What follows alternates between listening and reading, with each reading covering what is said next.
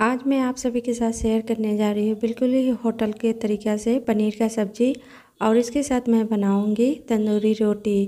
तो बहुत ही आसान तरीक़े से बन जाता है फ्रेंड्स और खाने में बहुत ज़्यादा ही स्वादिष्ट लगता है। तो एक बार रेसिपी को घर पर ज़रूर ट्राई कीजिएगा। Hello friends easy to cook food में आप सभी का स्वागत है। अगर आपको मेरी रेसिपी पसंद आए तो प्लीज़ चैनल को सब्सक्राइब करना ना भूलें। तो चलिए मैं रेसिपी को शुरू करती हूँ। तंदूरी रोटी बनाने के लिए मैंने यहाँ पर लिया है 500 ग्राम आटा और इसमें मैंने दो चम्मच चीनी डाला है। थोड़ा सा मैं इसमें डालूँगी बेकिंग सोडा और थोड़ा सा मैं डालूँगी इसमें बेकिंग पाउडर। और थोड़ा सा ही बिल्कुल इसमें नमक डालूँगी, ज़्यादा इसमें नमक नहीं मैं नहीं डालूँगी। और दो बड़े चम्मच मैंने इसमें तेल डाला है, सभी को मैं अच्छे से मिला लेती हूँ। तो यहाँ पर मैंने आटे में अच्छे से मिला लिया है और बिल्कुल थोड़ा थोड़ा पानी लेके इसे बिल्कुल ही सॉफ्ट डो रेडी कर लेती हूँ। तो यहाँ पर मैंने डो को अच्छे से लगा लिया है। इसे द, एक घंटे के लिए सेट होने के लिए मैं साइड में रख देती हूँ। तब तक मैं ग्रेवी का तैयारी कर लेती हूँ। तो यहाँ पर मैंने मीडियम साइज़ का चार मैंने टमाटर लिया है। बड़े साइज़ का मैंने तीन यहाँ पर प्याज लिया है। आठ सात मैंने इसमें काजू लिया है। और यहाँ पर बीस पच्चीस मैंने लहसुन का कली लिया है। पैन में मैंने गर्म होने के लिए पानी रखा है। अब एक एक करके इसमें मैं सभी को डाल देती हूँ। और इसमें मैंने खड़ा धनिया दो चम्मच डाला है और तीन मैं इसमें सूखा लाल मिर्च डाल रही हूँ। अगर आप इस तरह से ग्रेवी तैयार करेंगे फ्रेंड्स तो खाने में पनीर की सब्ज़ी में बहुत ही ज़्यादा टेस्टी लगता है। तो यहाँ पर पाँच मिनट हो गया और ये देखिए अच्छे से ये बॉयल हो गया है। तब मैं गैस को बंद कर देती हूँ और इसे डायरेक्ट मिक्सी जार में मैं निकाल लेती हूँ। ठंडा हो जाएगा तो इसे मैं पीस लूँगी। यहाँ पर बिल्कुल ठंडा हो गया तो मैं इसे पीस लेती हूँ। तो ये देखिए, मैंने यहाँ पर पीस के रेडी कर लिया। तो यहाँ पर मैंने लिया है 200 ग्राम पनीर और इसमें थोड़ा सा मैंने हल्दी पाउडर डाला है, थोड़ा सा मैंने इसमें कश्मीरी लाल मिर्च का पाउडर डाला है और थोड़ा सा मैंने इसमें नमक डाला है।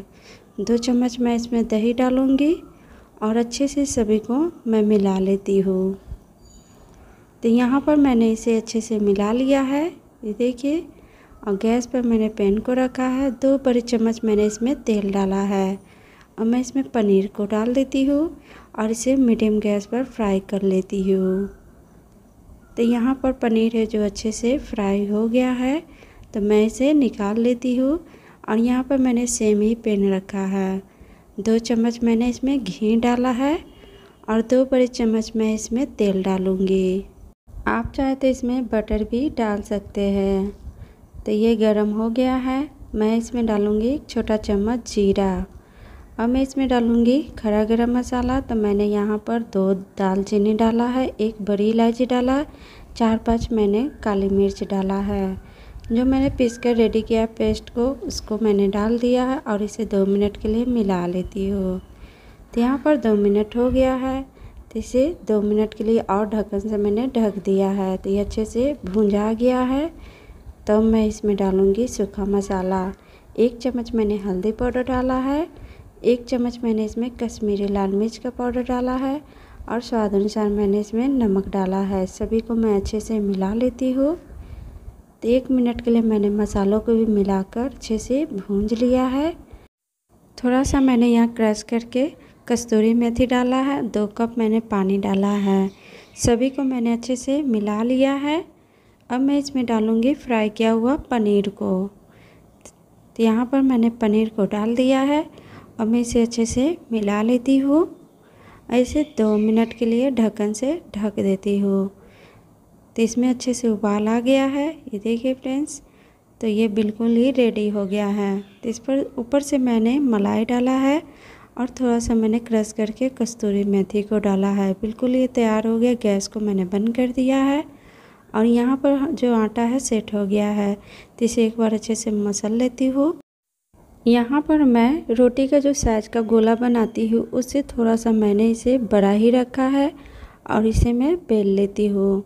तो रोटी जो नॉर्मल जो बेलते हैं उससे थोड़ा सा इसे मोटा ही मैं रखूँगी। ये देखिए, बिल्कुल इस तरह से।